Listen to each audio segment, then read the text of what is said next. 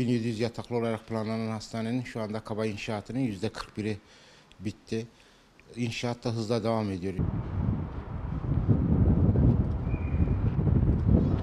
Şu anda 1700 yataklı hastanenin e, kaba inşaatı bitti. E, planlamada biliyorsunuz dört kule şeklinde genel hastane, kadın doğum, KVC, onkoloji hastanesi olarak planlanmış.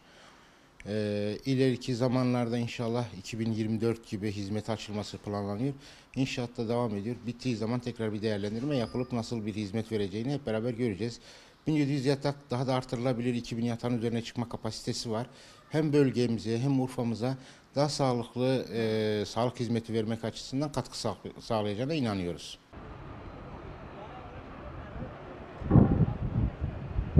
Hastane zaten ilk ya depremden önce inşaatı başladı biliyorsunuz ama o zaman da Sağlık Bakanlığı tüm sağlık e, tüm şehir hastanelerinde e, depreme dayanıklı hastane modeline geçildi. E, özellikle sismik izolatörler kullanılıyor. Yaklaşık olarak 1100 civarında e, izolatör var. E, depreme dayanıklı. Son günlerde de zaten gündeme geldi. Herhangi bu sarsıntılardan bizim de etkilendi bölgemiz ama inşaatımız hiçbir şekilde etkilenmedi ve hızlıca inşaat devam ediyor aynı şekilde.